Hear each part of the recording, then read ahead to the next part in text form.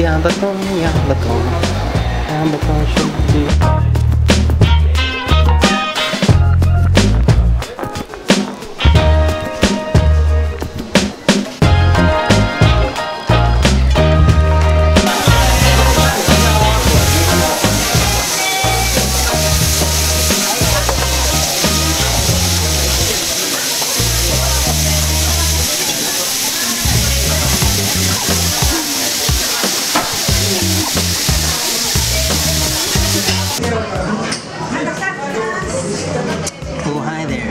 We're here in Yabaton in Meitetsu in Nagoya Station.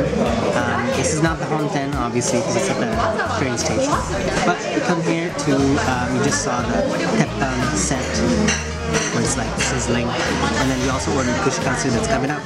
But uh, the miso katsu is popular in Nagoya and the miso that they use is red miso, aka miso, which is different from the shiro miso. Most of you guys know uh, when you drink soup, that's uh, shiro miso usually.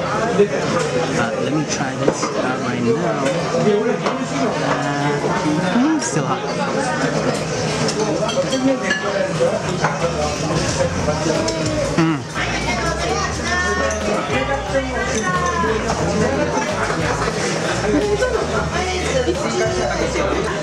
So red miso is kind of sweeter and more concentrated, kind of bold taste compared to shiro miso, which is lighter. And so it's really a strong taste. Um, and the, another great thing about this is that the pork itself is really juicy and soft. So it's not just the sauce that makes it misokatsu, it's the actual pork that they use um, for the misokatsu. Also, I forgot to say, itadakimasu! I'll have another Oops.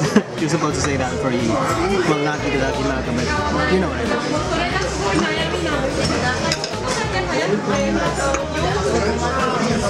Mm.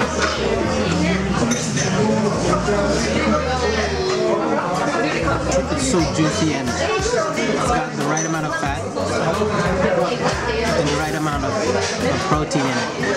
Delicious pork, balanced out by that miso. And also there's a ton of cabbage. Mm. We'll wait for the kushikatsu.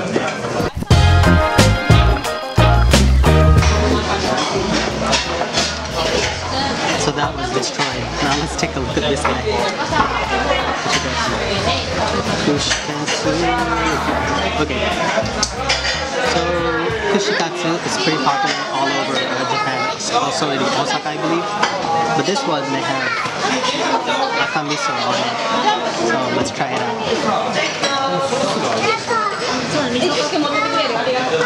out.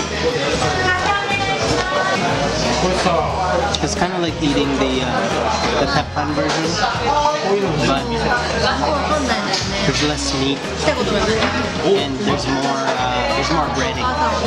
Pretty good, but I highly suggest what they recommend, which is the teppan.